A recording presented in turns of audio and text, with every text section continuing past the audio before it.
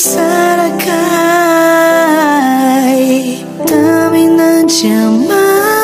Di siya fityama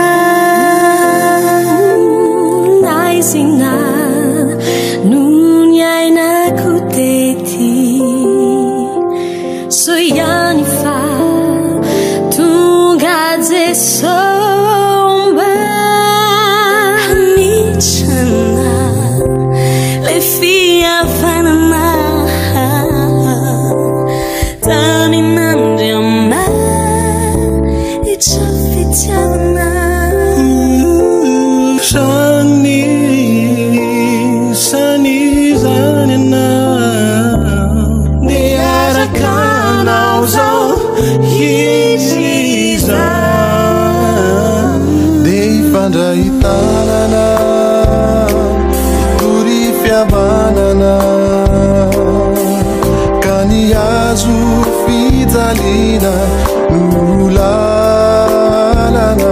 hampyavana ny olona aminisamy olona sy amina ndramany trafitiavana